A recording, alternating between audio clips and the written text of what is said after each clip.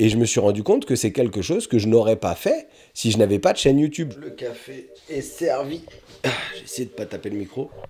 J'ai décidé d'être en mode story time. J'ai envie de vous dire ce que le fait d'avoir une chaîne YouTube m'a appris en photo argentique. C'est un peu un stretch, mais ça a du sens. C'est pas un sujet évident parce que YouTube, c'est un espace euh, dans lequel on crée des vidéos, ça prend du temps de créer des vidéos et on n'a pas envie de flop. Donc, on est dépendant d'un tas de règles auxquelles on se plie ou auxquelles on ne se plie pas. On essaye de trouver des concepts, euh, des pellicules qu'on n'a jamais shoot, des appareils qu'on n'a jamais shoot, etc. Et parfois, en fait, euh, cette ligne éditoriale, elle empiète sur notre photographie. Et donc, ça fait que euh, parfois, euh, moi, en ayant une chaîne YouTube, je me suis retrouvé à faire des photos que j'aurais pas fait autrement euh, parce que euh, j'avais un impératif de vidéo. Donc euh, déjà, le fait d'avoir une chaîne YouTube, ça m'a poussé à sortir faire des photos. Euh, ce que je faisais déjà un peu avant, mais là, très régulièrement, pour créer du contenu, je devais aller faire des photos. Que j'ai envie, que j'ai pas envie. J'avais organisé mon tournage, j'avais demandé à Maxime d'être disponible pour venir filmer avec moi, et qu'il pleuve, qu'il vente ou qu'il neige, on y allait. Les rendez-vous que j'avais pris, je m'y tenais. Euh, jamais je n'annulais euh, un tournage. Euh, pour X raisons, j'avais toujours une bonne raison de tourner. Même la fois où on a tourné une vidéo et où en fait je suis parti avec aucune batterie de chargée, vraiment on est parti loin. hein. Genre je pouvais pas rentrer chez moi aller chercher les batteries. On l'a tourné avec son téléphone. C'est juste pour vous montrer à quel point on a tenu euh, l'engagement de faire une vidéo par semaine pendant deux ans. Ça veut dire qu'au moins une fois par semaine, presque, je sortais faire des photos. Une fois toutes les deux semaines, parce qu'il y avait des vidéos où je faisais pas forcément de photos, j'expliquais comment fonctionnaient euh, certains appareils. Mais en gros, euh, déjà, le fait d'avoir une chaîne YouTube m'a poussé à avoir une régularité dans ma pratique. Je ne dépendais pas juste de l'envie d'aller faire des photos. Pas mal, mais je suis un peu, je suis un peu, un peu vieux en fait. Mais ce que j'ai récemment appris grâce à YouTube sur la photo argentique, c'est quelque chose dont je me suis rendu compte vraiment cet été. Ça vous est certainement déjà arrivé de faire des photos, bien sûr en argentique, what else? Je bois du café en disant what else? What else? Et de vous rendre compte, par exemple, euh, que la pellicule était mal chargée. Ça résiste pas. Il n'y a pas un moment où ça. ça, ça... et que vous avez fait des photos dans le vide pendant euh, quelques heures, une journée. Et c'est pas faute de connaître la technique pour savoir si la pellicule elle est bien chargée dans son appareil et d'avoir fait une vidéo là-dessus. Ça m'est arrivé lors d'un échange avec Eric Gibaud. C'est le moment de la promo. Si vous soutenez cette chaîne sur Tipeee, vous me permettez d'être indépendant des marques et de la monétisation YouTube et je peux faire des vidéos comme celle-ci. Et si vous soutenez cette chaîne sur Tipeee, vous pourrez rejoindre notre groupe Team App sur Discord. C'est un espace dans lequel euh, je peux échanger avec vous. Je peux répondre à vos questions sur Discord. On a différents salons. Il y a plein de gens qui sont plein de ressources qui peuvent répondre à des questions auxquelles moi je ne connais pas tout. Hein. Je connais pas tout en argentique. Mais voilà, on a des salons sur euh, le 35 mm, sur euh, on a des sorties photos, des actus. Les sujets sont ceux que vous, vous avez envie de d'amener dans ce Discord et c'est vraiment un moyen, moi, d'être en lien avec vous qui me soutenez régulièrement. Je continue mon histoire. Je suis avec Eric Gibaud. On a une journée, on tourne trois vidéos dans la même journée. Le matin, on tourne le podcast. En fin de matinée, on fait l'échange argentique. Et l'après-midi, on va faire des photos avec Yann Pelka qui nous avait ramené une pellicule d'instantané euh, FP100C chez Fuji, qui est pas introuvable mais extrêmement cher et qui nous fait ce cadeau euh, pour faire des photos avec un dos instantané pour Mamiya RB67. Je sais pas si la vidéo sera déjà sortie au moment où j'enregistre cette vidéo ou au moment où vous la voyez, mais si c'est le cas, c'est là. Si c'est pas le cas, ça vient. Abonnez-vous. Actuellement, je bois mon café.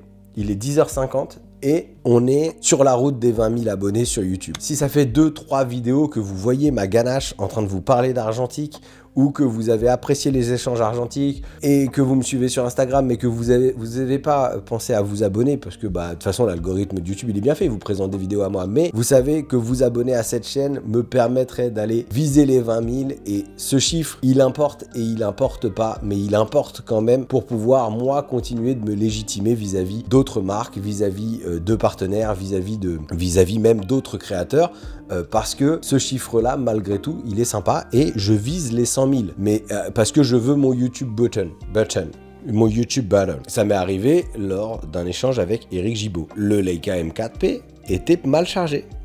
Donc j'ai fait des photos pendant presque deux heures en plein cagnard. Et je me rends compte que la pellicule était mal bobinée dans l'appareil. Bon, jusqu'ici, un fail de plus en argentique. Mais le fait d'être avec Eric, le fait d'avoir une chaîne YouTube et de se dire, bah, on a prévu de sortir une vidéo tous les deux, je peux pas juste dire que j'ai fail. Eric m'a incité à recharger la pellicule et à refaire mes photos. Que les Bah- photos que t'as faites, elles sont faites quoi. Bah j'espère qu'elles ont été faites parce que franchement si elles sont pas faites, 36 autres photos. hein. non, non je les refais pas. Bah tu sais où elles sont. Il m'a dit, tu sais déjà où t'as fait tes photos, euh, vas-y fais-les. J'ai refait à peu près tous les spots où j'étais allé, parce que c'était beaucoup de paysages, je faisais pas de la street. Et j'ai refait tous les spots. Et je me suis rendu compte que c'est quelque chose que je n'aurais pas fait si je n'avais pas de chaîne YouTube. J'aurais pas rechargé la même pellicule pour essayer de refaire mes photos. Moi j'aurais juste ma pratique photo, j'aurais renoncé à ces images et je serais passé à autre chose. Ouais, ouais, ouais. Sauf que là, le fait qu'on fasse une vidéo, ça fait que je me dis, non mais attends, j'ai mis, mis, mis de l'effort dans la fabrication de cette vidéo. Il me faut, si j'ai pas les images, je peux pas juste dire bah non j'ai pas les images. Du coup ça me pousse à être plus persévérant que je ne le suis pour Ah. moi-même en temps normal. Et ça, c'est clairement parce que on faisait une vidéo, clairement parce qu'on avait une, une- parce qu'on a des chaînes YouTube qui nous ont poussé à livrer. Dans la vidéo, on dit qu'on fait des photos, faut qu'il y ait des photos. Tu te rates, c'est pas grave, tu refais des photos pour que dans la vidéo, il y ait des photos. On pourrait bien sûr faire une vidéo de fail, mais c'est pas marrant. J'ai fait une vidéo euh, avec mon Hasselblad en essayant la Gold 120. Ils l'ont plantée en laboratoire.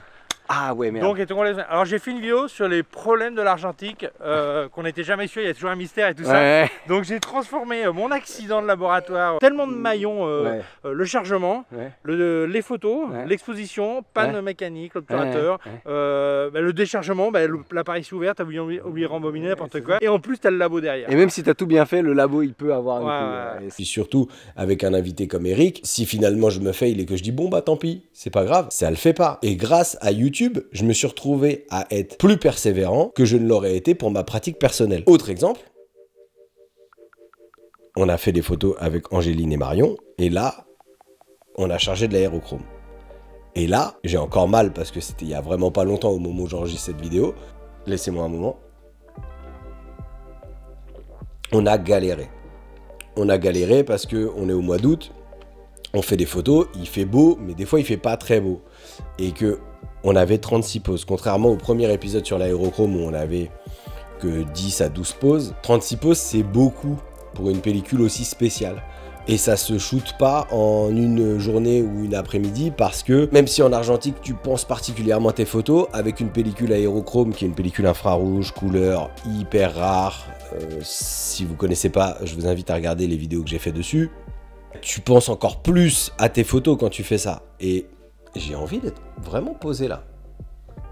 Et là, bah on pouvait pas. Enfin, genre on pouvait pas. Une fois que c'était chargé, on avait un appareil de bloqué, on n'était pas en voyage, et c'était là que pour quelques jours. Donc on se retrouve à faire des photos et devoir finir les photos. Donc on fait des photos une demi-journée. On arrive à 15-20 pauses. Le lendemain matin, moi qui avais fait peu de photos la veille, je pars faire des photos dans mon quartier. Je fais euh, quelques pauses aussi. Le problème, c'est que mon compte vue ne fonctionne toujours pas sur mon Olympus au M10 et que je ne l'ai toujours pas fait réviser ou réparer pour savoir à combien de vues je suis. Je sais, ça m'empêche pas de faire des photos. Et ça me pousse à être dans le présent. Genre, je fais des photos et puis quand il y en a plus, il y en a plus. L'après-midi, on va faire des photos. Il pleut l'après-midi, alors que l'aérochrome, c'est quand même une pellicule qu'on utilise plutôt par beau temps, par temps ensoleillé, de préférence. Parce que par grisaille, c'est pas le rendu est pas terrible, ça vaut pas le coup, malheureusement. On finit dans un super spot et là je bombarde, je bombarde, je bombarde et je comprends pas pourquoi mon appareil photo s'arrête pas. J'ai peur d'avoir déchiré le film. Finalement, j'ai pas déchiré le film, il était juste mal chargé. Deux jours consécutifs, j'ai des pellicules qui sont mal chargées dans mon appareil photo. C'est quelque chose que je n'aurais pas vu si j'avais pas lancé cette chaîne YouTube. Donc, je remercie cette chaîne YouTube, vous, d'être là et de me pousser à être plus persévérant, en fait.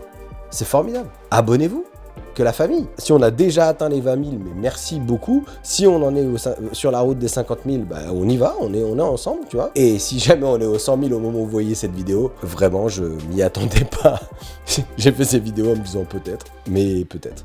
Si je l'avais pas fait, peut-être que non. Évidemment que YouTube m'a appris des choses sur la photographie argentique, mais surtout la photographie argentique m'a permis d'être un meilleur photographe et je vous en parle dans cette vidéo. D'ici la prochaine vidéo, faites encore plus de photos. Allez, ciao